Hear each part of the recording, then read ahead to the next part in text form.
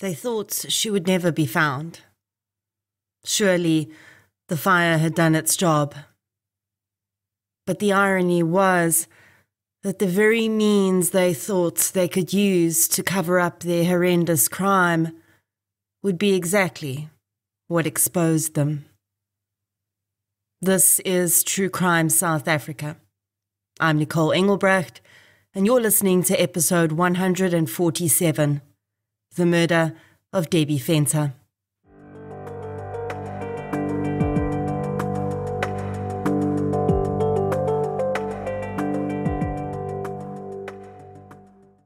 Today's episode is brought to you by Dial-A-Bed, South Africa's largest branded bedding retailer. We all know that getting a great night's sleep makes us happier and healthier, so Dial-A-Bed is on a mission to make it as easy as possible for you. Shop at 76 stores nationwide or online at dialabed.co.za.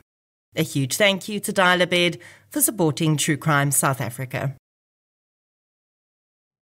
Since 2019, True Crime South Africa has been telling the stories of the victims of violent crime in South Africa. The podcast is independent. That means no big or even little corporates fund it.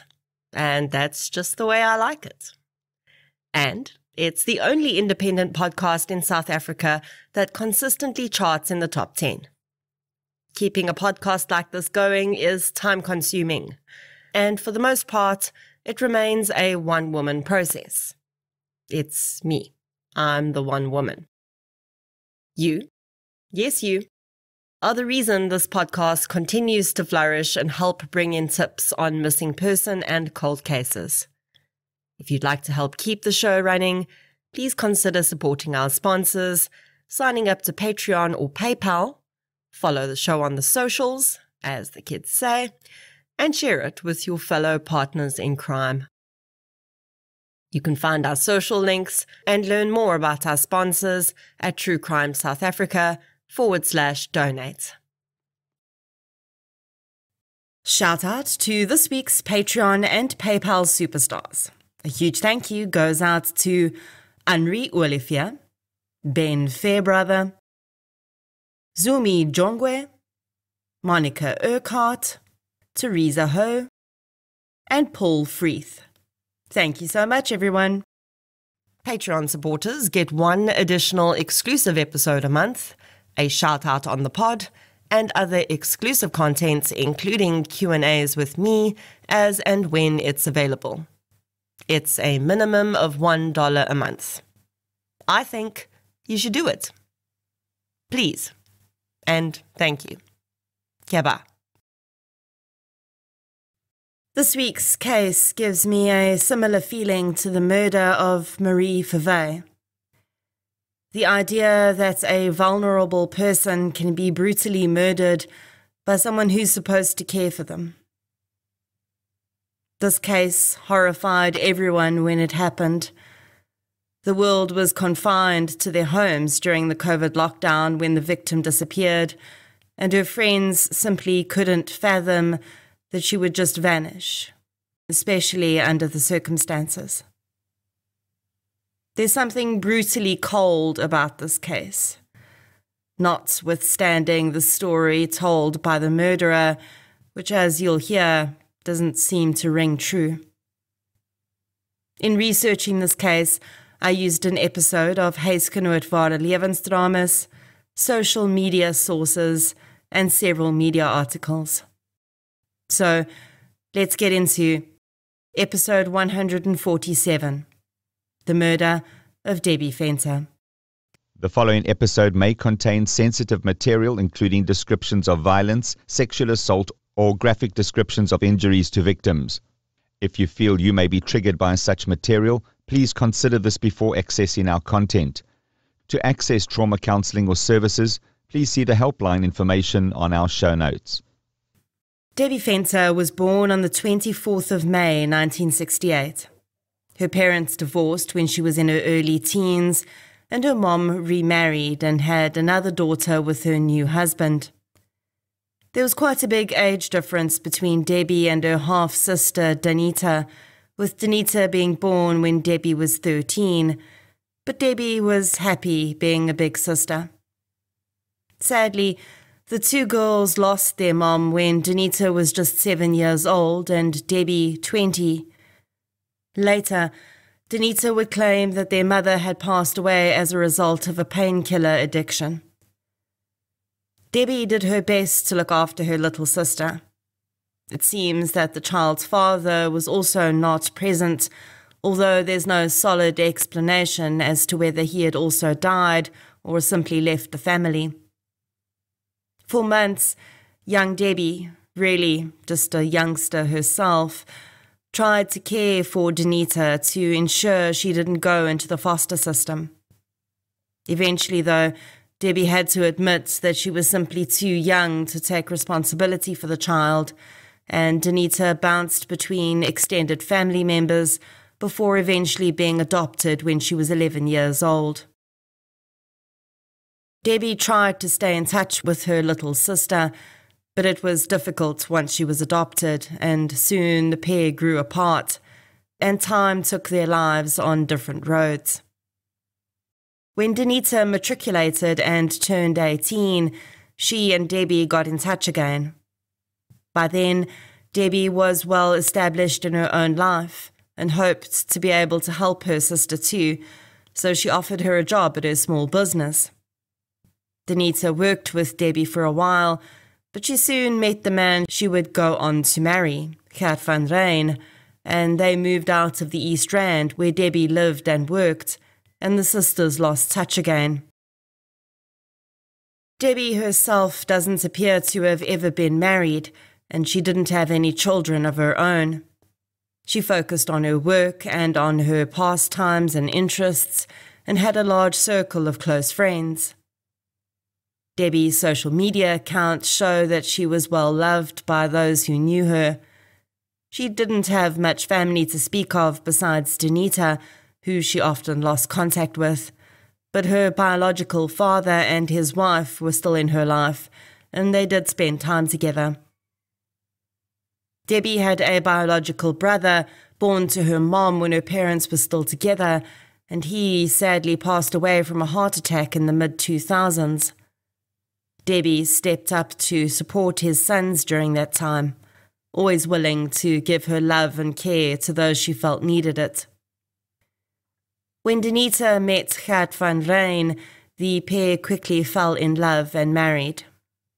Those who knew the couple said they'd watched them go from both being employed at really good jobs and living in a lovely large house to both being unemployed and living in a small cottage on a property in Bronkhorstspruit. No one really knew what had caused the downfall.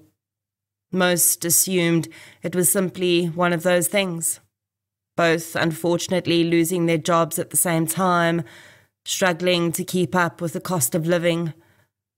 But there seemed to be more to it. But it would only be revealed later. Somewhere along the line, Danita had developed a drug habit. The nature of her addiction isn't really discussed anywhere, but it seems that she veered between being a daily user to a weekend user and back again. This is possibly another reason why the relationship between Debbie and Danita had ebbed and waned. It's not uncommon for people with substance use disorders to move in and out of their families' lives. In 2019, Debbie received a devastating diagnosis. She had cervical cancer, and it was already at a very advanced stage.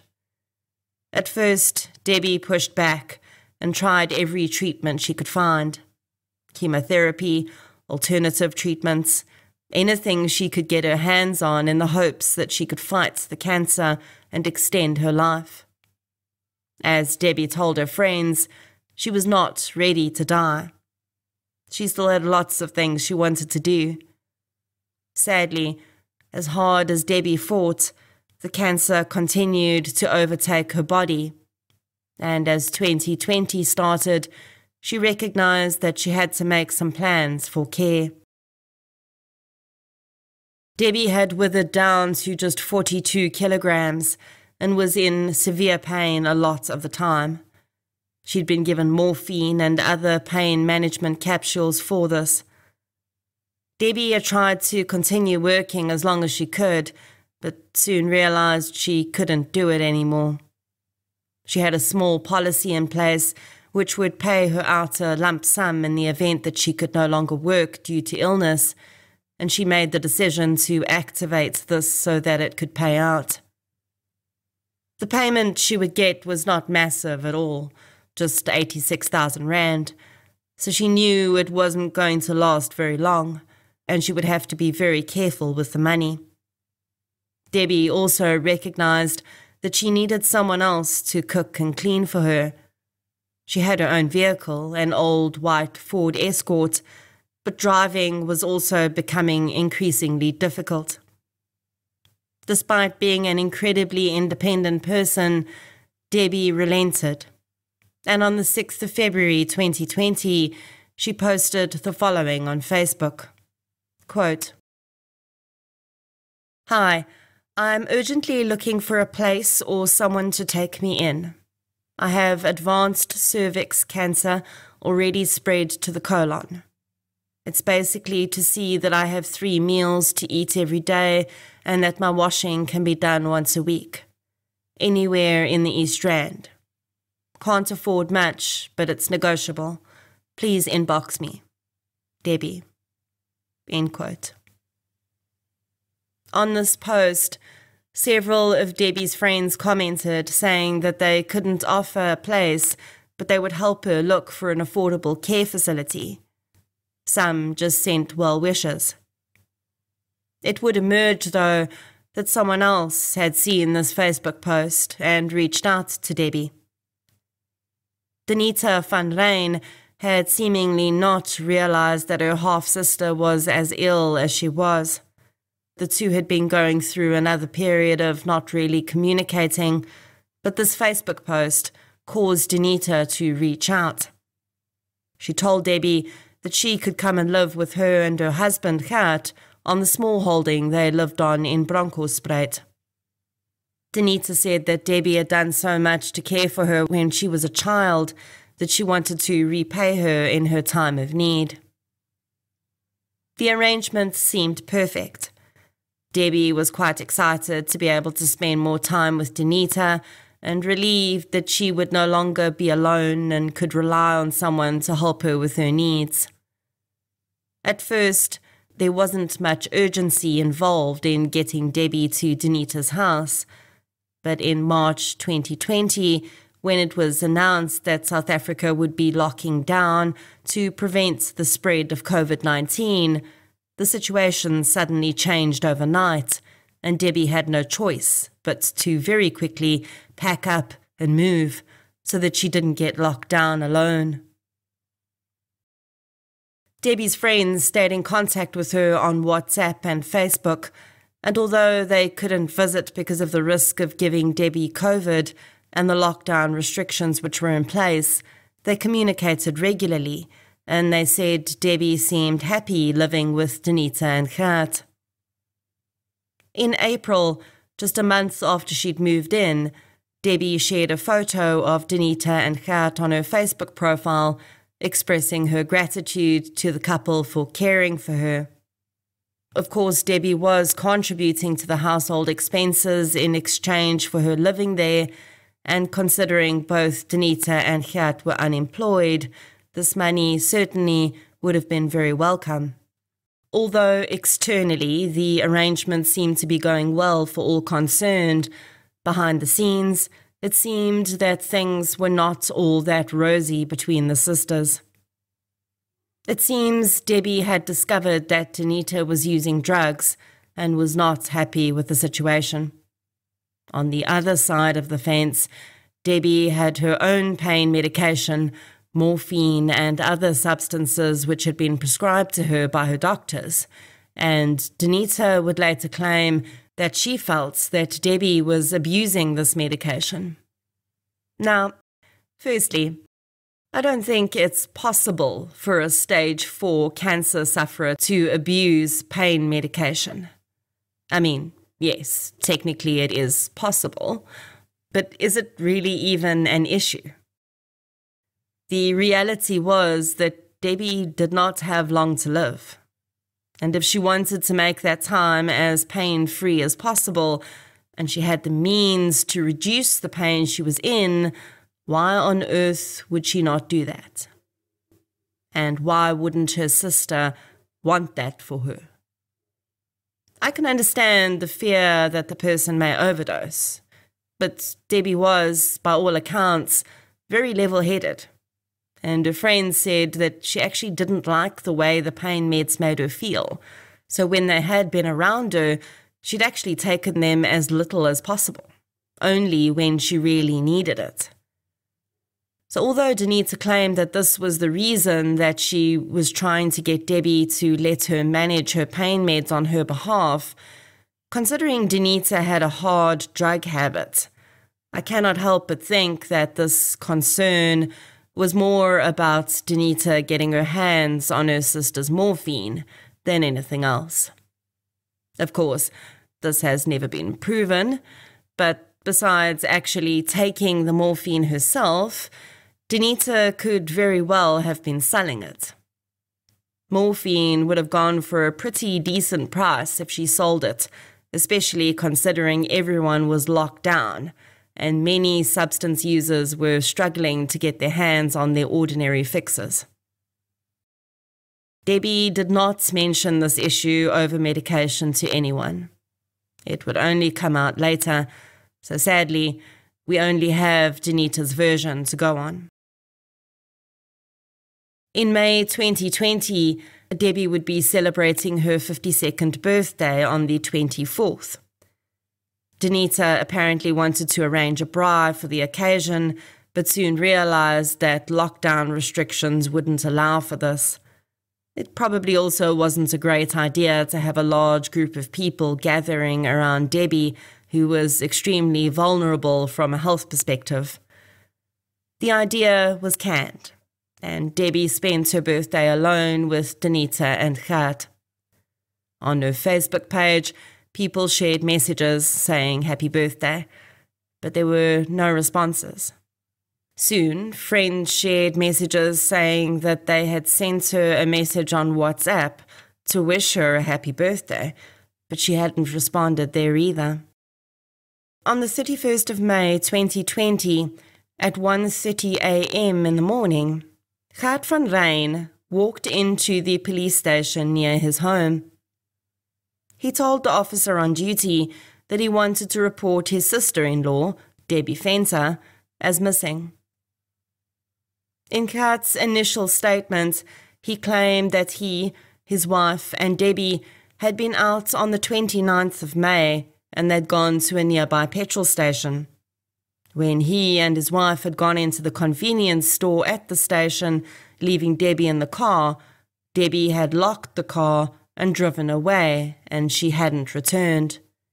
He said that Debbie had been wearing her pajamas at the time. When the dockets arrived on the table of the investigating officer, Warrant Officer Gerda Tuason, the next day, she immediately found the case to be a little odd. She acknowledges that the SAPS will always approach the case of, of a missing adult with a little wariness at first, especially if it's reported that the individual may have left of their own volition. But Tuason really felt that the story around Debbie leaving didn't add up. She called Gert back into the station and interviewed him again. She immediately noticed that pieces of the story he gave her in that interview were different to what he'd claimed when he opened the missing persons case. She asked a colleague to interview Danita. When Danita van Ryn came into the police station, she had an A4 diary with her. As she sat down in front of the officer and they began to ask her questions, she started writing. The officer asked her what she was writing down, and she said that she was in the habit of writing everything down, and she just wanted to make sure she did everything she could to help find her sister. What immediately stood out from this interview and from Gert was that their stories pretty much lined up, up until the point that they were at the petrol station.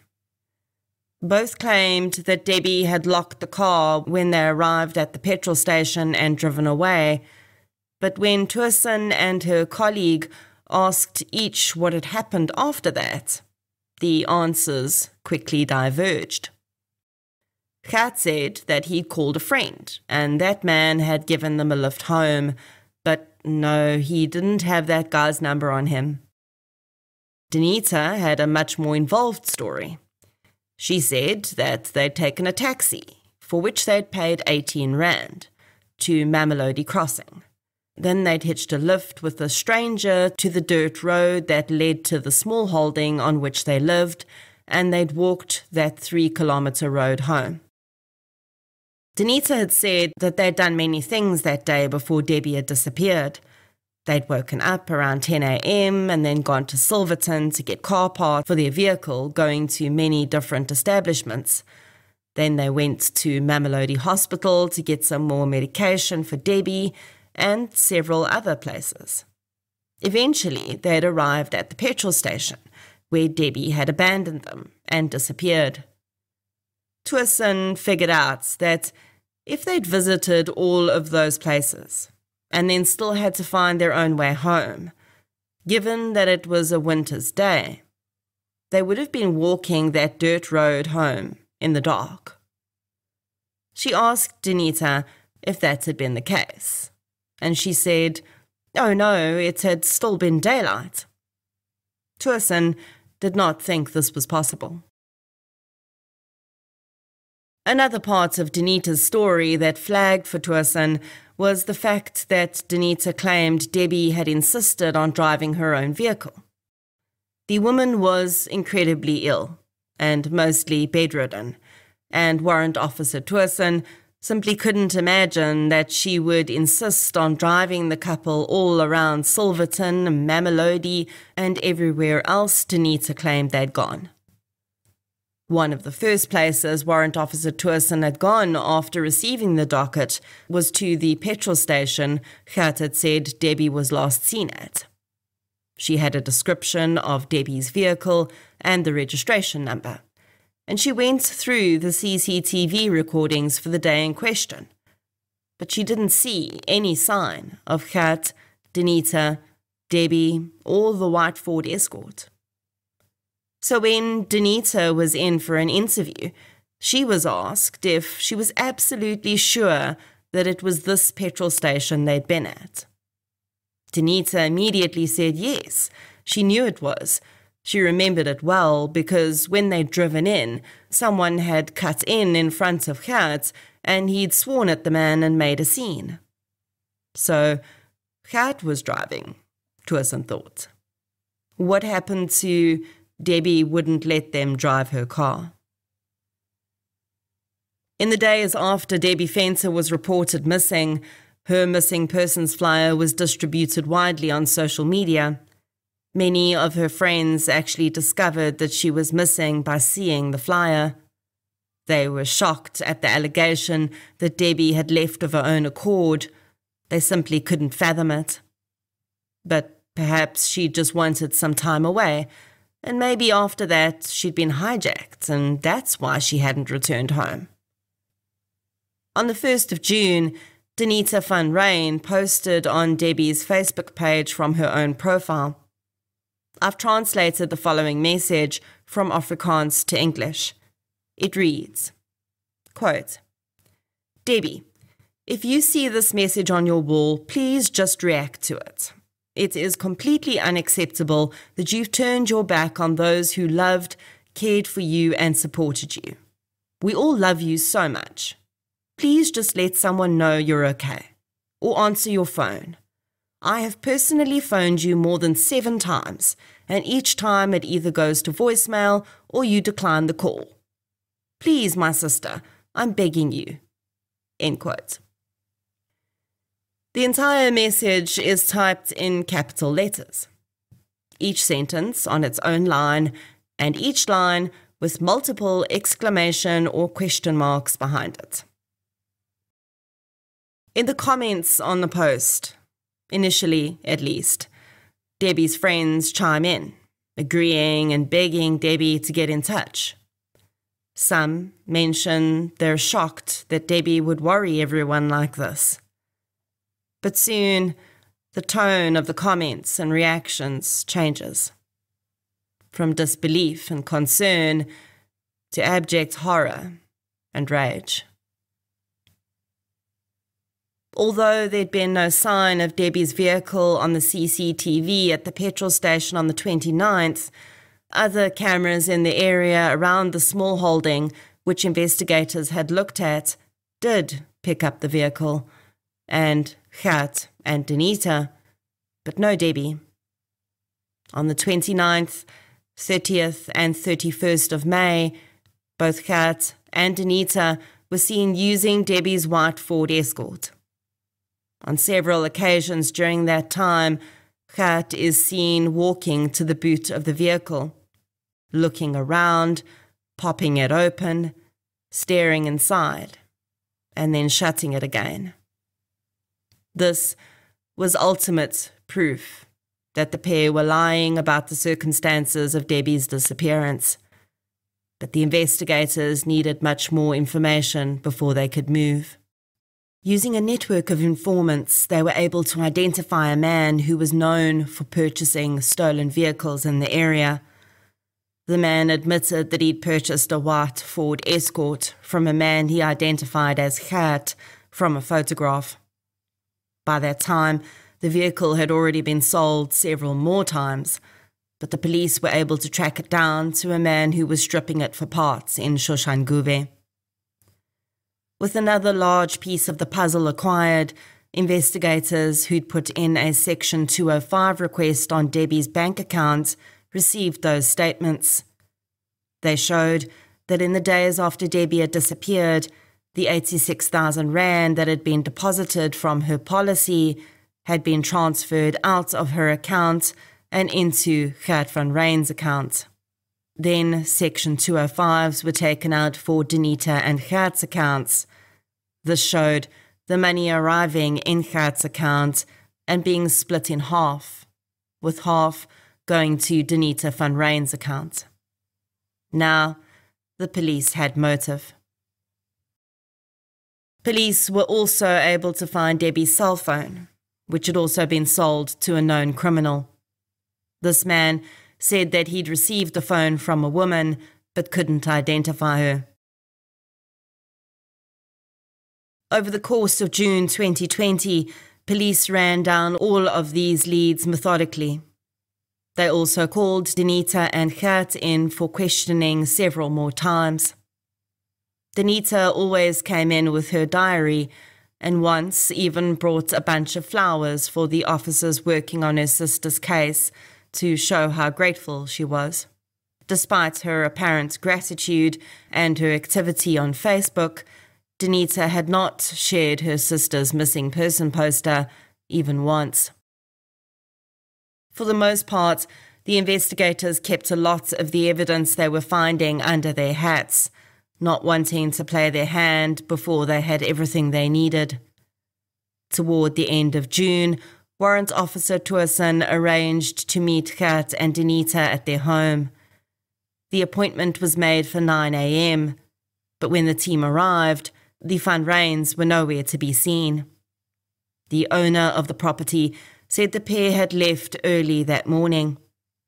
Getting the couple on the phone proved a challenge, but eventually Danita answered and apologized for not being there.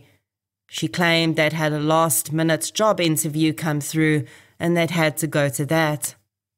Their absence, though, could work in investigators' favour and Tuason asked the owner of the property if she could have his written permission to access the rooms in which the Van Ryns lived. The owner agreed. When they entered the premises, the owner was shocked at how clean the house was. He said he'd expressed concern to the Van Ryns before about how dirty and unkempt their house was. The last he'd seen, there were piles of junk stacked around that you had to climb over to get around the house. But now the home was spotless, scrubbed down. You could almost eat off the floor if you'd wanted to. The owner showed the officers the room in which he knew Debbie had slept. The room was bare, though. It was as though she'd never been there. Only one set of pajamas sat in a drawer, and some old medication with Debbie's name on it. But other than that, it seemed the Van Ryns had very quickly been happy to get rid of everything Debbie owned. Almost as though they didn't hold out any hope she'd be coming back. The investigators also struck gold in, uh, in the rubbish bin at the house. The refuse at the small holding was not collected as regularly as at suburban homes, so there was quite a bit more to sift through. In the bin, police found a pile of torn up paper. The paper looked similar to the diary Danita had brought into each of her interviews. The pages had been torn into the tiniest of pieces, but police collected as many of the pieces as they could, and they would spend the next few hours reassembling the pages. When they were finished, it became clear that Danita had been using the diary to keep track of her own answers, presumably so that she knew what she'd said and could say the same thing if she was asked again. Also on the pages was a money allocation of sorts.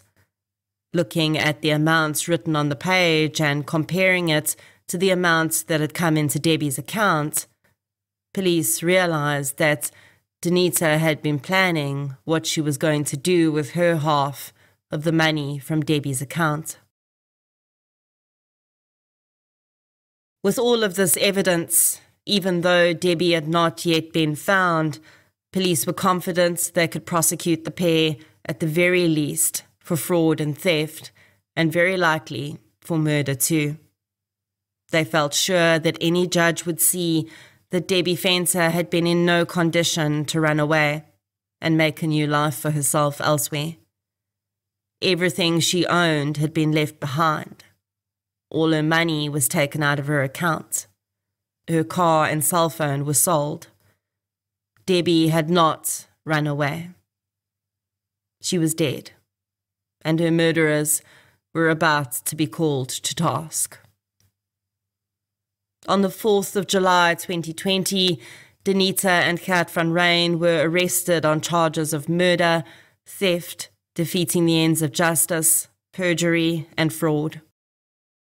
The news about the pair's arrest quickly spread and Debbie's friends were horrified at the thought that their friend may have fallen victim to the hands who had committed to caring for her. In the days after the arrest, a fire spread through a veld in Valeria, Pretoria. Firefighters attended and put the fire out. They swept the area when it was safe to do so, trying to see if they could figure out where it had started although it was likely just an accidental veld fire, which is not uncommon. During their search, though, the firefighters came across a deep cavern in the veld. In it, they spotted a large canvas bag which had mostly burned away, revealing the remains of a human body. Police were called and the remains were retrieved. Also in the ditch, they found a bag which had a pillow and a metal jug in it. The jug smelled of petrol, and from the pattern of the burns, it was very clear that the body had not been burned in the veld fire. Rather, it had been burned before that. It appeared that whomever had put the victim there had thrown the bag containing the body into the ditch poured petrol over it from the top of the ditch, and then thrown the bag with the pillow and the container into the ditch and set it alight. Initially, the body was believed to belong to a black male, But when the forensic pathologist went to perform an autopsy on the body, they discovered that it was, in fact, a white female. The victim had had her hands tied behind her back. The cause of death was found to be suffocation, and a plastic bag was believed to have been placed over the victim's face. Devastatingly, tiny fragments of plastic were found inside the victim's lungs, indicating that she was still breathing when the bag was placed over her face. The victim's face and much of her body were badly burned, so a visual identification was not going to be possible. But because the victim's hands had been tied behind her back, and she happened to be placed in the hole in a sitting up position, her body had protected parts of her hands from much of the heat of the fire.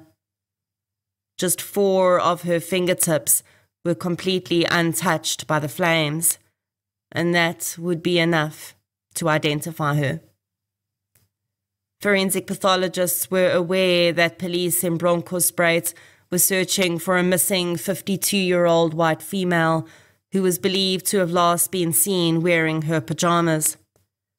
Some material fragments found with and on the body looked like pajama material to the pathologist, and so the first set of prints the victims were compared to were those of Debbie Venter. Warrant Officer Tuason was outside court, waiting to go into the bail hearings for Denita and Gert when her phone rang, and she received the news that Debbie Venter's body had been found. She approached the prosecutor with the news, and although the accused couple would only hear the news after the hearing was finished, it would change everything. The case against the pair was already pretty solid, but it was clear that neither had thought Debbie's remains would ever be found. And when that was added, Danita decided to enter a guilty plea. Danita claimed that she and Debbie had been arguing over her medication because Danita was allegedly concerned Debbie was using too much morphine, and Debbie had become incensed and attacked Danita. Danita claimed that she'd lost control and held a pillow over Debbie's face, and she soon realized that Debbie appeared to not be breathing. She said that she'd panicked and called Gert to help her. She said he'd wanted to phone an ambulance but she'd convinced him not to, and instead told him they should make Debbie's death look like a hijacking in which she'd been murdered by the hijackers. She claimed that this was why they tied her hands behind her back and put the plastic bag over her head. The pillow found in the bag was the one Danita said she'd used to suffocate Debbie. Debbie's DNA was found on the pillow and the contusions on her face indicated that she had been suffocated in a way other than the plastic bag before that was placed over her head. Danita and though, swore that they thought Debbie was dead when they put the plastic bag on her head. Had then placed Debbie's body into a canvas bag and put her in the boot of the car. They'd purchased petrol in the container found in the bag and taken Debbie's body out to the veld, where they'd poured petrol over her and set her alight. Although it seemed clear that Danita was not telling the whole truth in her statement, the prosecution decided that they would accept her guilty plea. The judge did as well. And Danita van Ryn was sentenced to an effective 25 years in prison, and Gert van Ryn to 15 years for his role as an accessory. Situations like this are always difficult. And while I can understand why the prosecution would rather accept a 25 year sentence than risk Danita somehow getting off on the charges completely if they went to trial, it's difficult for me to feel that justice for Debbie was really done. Danita will be eligible for parole in 12 and a half years. Despite the fact that she pled guilty, the main reason she was not given a life sentence was because the murder was not proven as premeditated. And maybe it wasn't entirely. But I do believe there is strong evidence to suspect it was. I'll just say that I put absolutely no stock in Danita's version of events.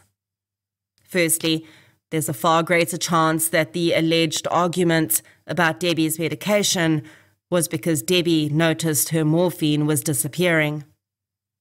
I also definitely don't believe that Debbie physically attacked Danita. The woman had stage 4 cancer, was too weak to make food or do laundry for herself, and was in incredible pain. That's just undeniably nonsense. The money is the key as far as I'm concerned. Danita had made very little effort to be in contact with her older sister. When Debbie posted on Facebook, she clearly mentioned that she could pay at least something toward her keep. And while I don't think that the small monthly amount was the reason Danita killed her sister, I don't think it's any coincidence that her murder happened so soon after her policy payouts cleared in her account. Danita was already planning how she was going to spend the money in her diary. For me, at least, this is clear evidence of premeditation to some extent. Many people think that suffocating someone to death is a simple task. And as I've said before in other episodes, many killers are surprised when their victims regain consciousness. Someone may lose consciousness quite quickly after they're deprived of oxygen, but this is the body's way of protecting the brain from damage, and they're not dead after this initial period of unconsciousness. This is why you'll often see suffocation or strangulation combined with another more violent method of murder. The victim regains consciousness, surprises the killer, and they react with the first means they have at hand to silence them forever. Danita claims that she and Gert didn't know Debbie wasn't dead after she suffocated her with a pillow, and they'd only placed the bag over her head to fake the hijacking gone wrong scenario.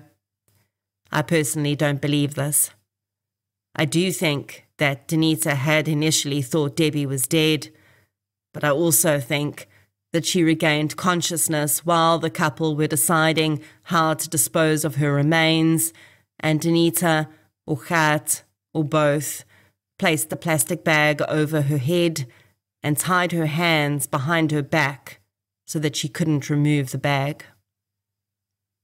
I believe they knew very well that Debbie was still breathing when they put her into that canvas bag. This is likely why there is footage of, Gert occasionally looking into the boot while they were very possibly driving around with Debbie in there. He was getting paranoid that she was going to regain consciousness again and wanted to reassure himself that she was dead. Considering Debbie went quiet around her birthday, the 24th of May, some wonder when she was actually killed. And added to that, whether she really was as happy as she claimed during those two months, or if she was just keeping the peace because she had no other choice. It's honestly a horrifying prospect. That Debbie may have been suffering in silence at the hands of Danita and Gert. Her father and friends said they'd hoped she would have told them the truth if she was indeed unhappy and being mistreated. But the whole country was going through a really tough time at that point. And maybe Debbie just didn't want to add to anyone else's troubles. We regularly hear about missing persons cases being botched by the SAPS, But really, this case is an excellent example of stellar work by the Bronkhorstspruit branch. If Warrant Officer Twerson had not pushed for more information when she smelled a rat, there's a very good possibility the Van Ryns would have gotten away with this. In fact, I think that they had banked on the SAPS not doing their jobs and they'd gone out of their way to make it even more difficult for them to do so by reporting the case at 1:30 a.m. rather than just going in during normal office hours.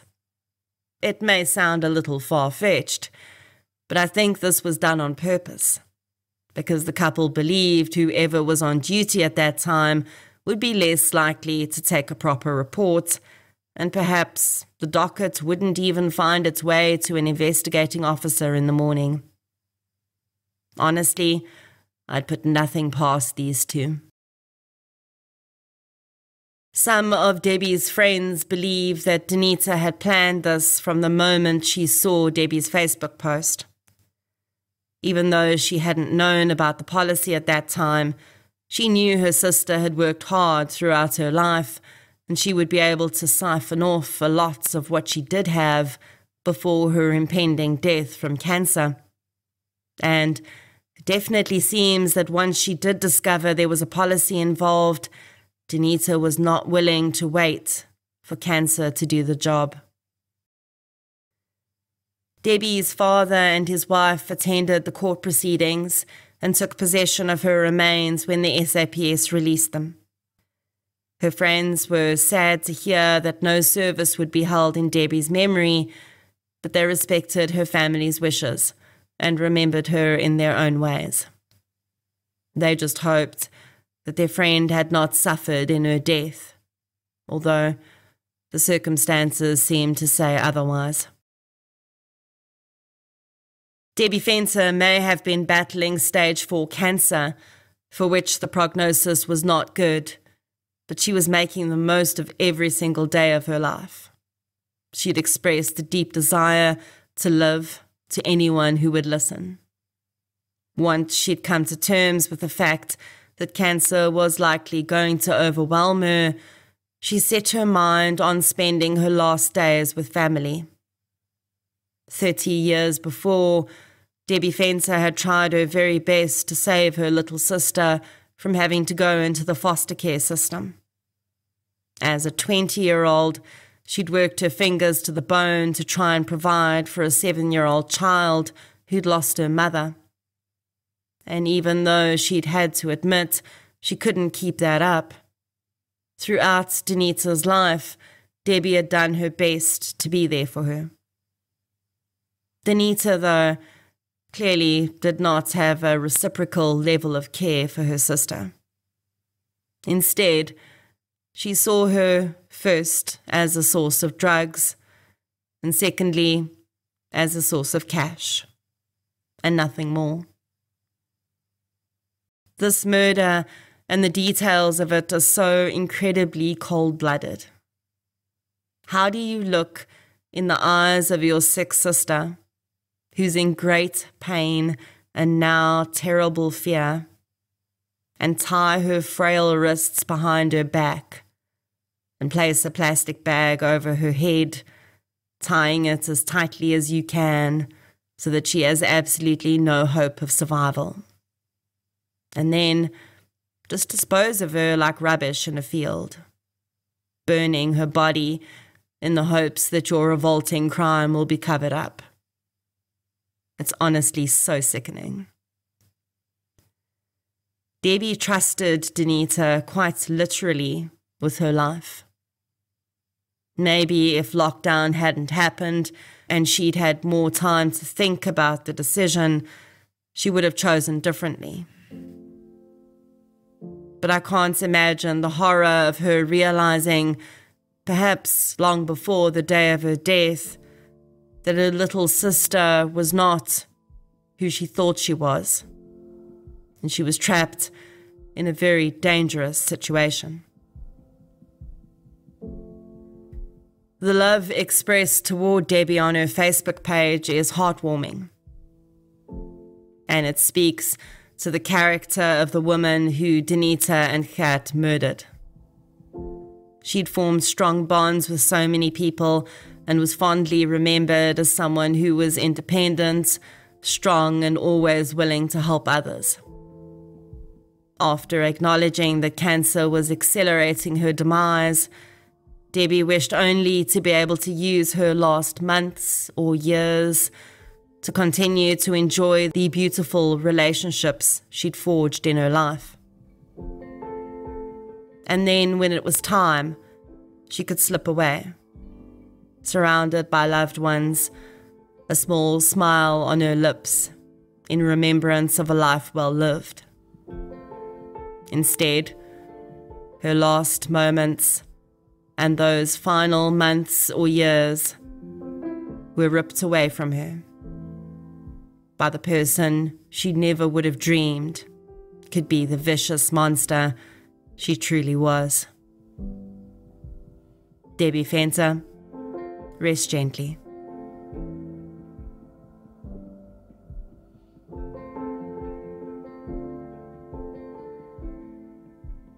If you'd like to hear more victim focused true crime content, please subscribe to True Crime South Africa on Spotify or the platform you're using to listen right now. If you're looking for something still related to real life stories, but often with a more positive slant, you can check out my new podcast series, I Live Through This. You can follow both podcasts on social media. We're on Facebook, Twitter, and Instagram. I'll be back next week with another episode. Until then, Thank you for your support, and I'll chat to you soon.